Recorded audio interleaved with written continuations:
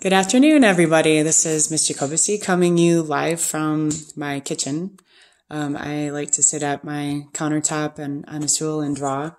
Um, I hope all of you guys are doing well and staying safe, washing your hands, enjoying some family time or just time at home, um, keeping busy. So I just wanted to do some drawing with you guys today, um, just some random, intuitive, symmetrical drawing. Uh, whenever I draw, I love to draw trilliums. So let's go ahead and get started. All right, so I'm going to set my camera up here on a candle that I have. I just have pencil, pens, I have colored pencils. Um, when I was a girl, I always loved to walk in the back of my dad's woods. Um, he has trilliums. They're white flowers that come up in the spring.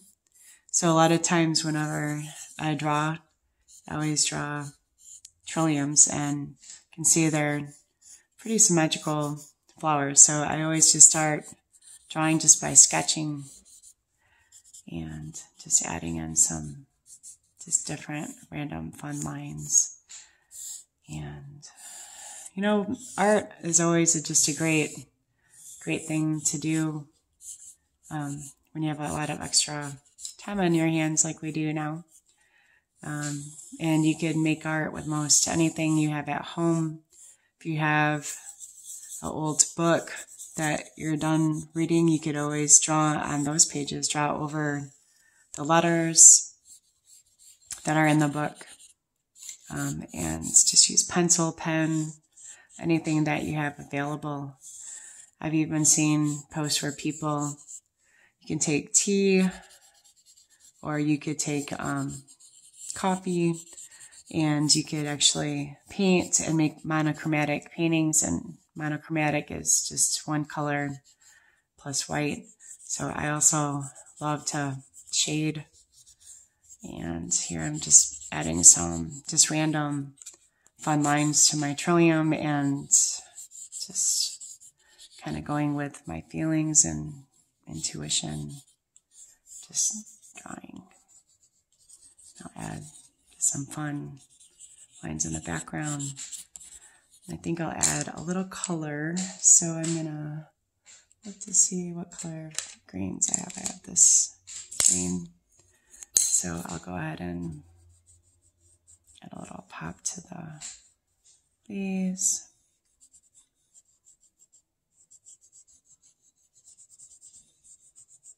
And if you push down hard, you'll get a dark. Push down light, soft.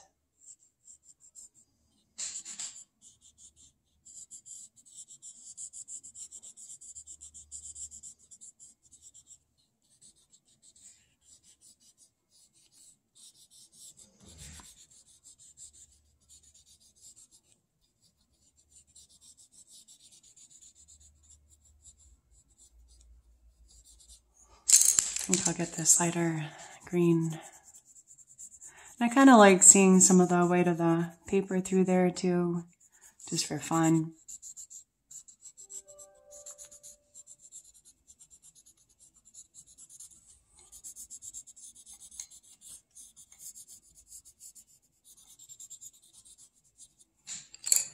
And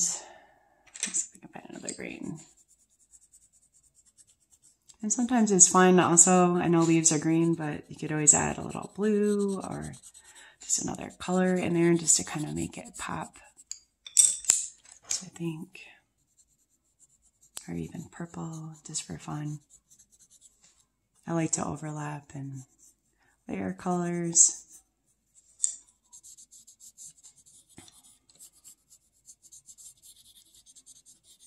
Maybe purple.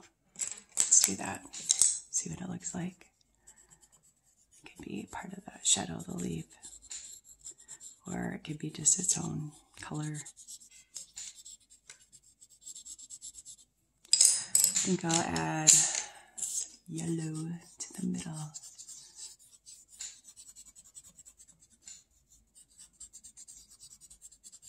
Maybe a little orange.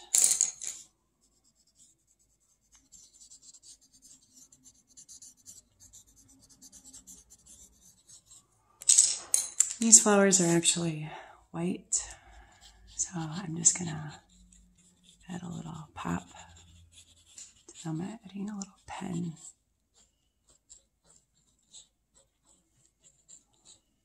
And it doesn't, I kind of like like the randomness of the lines.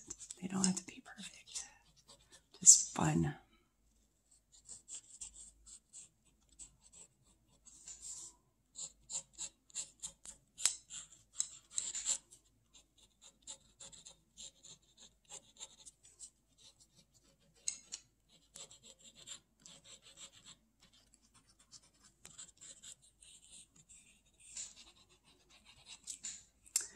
And I think I'll go ahead and end the video here.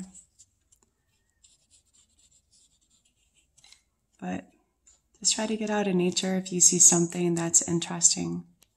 You can just keep study it.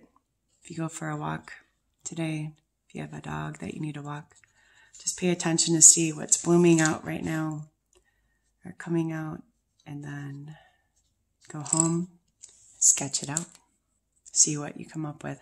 Have a good day, everybody. I'll talk to you soon.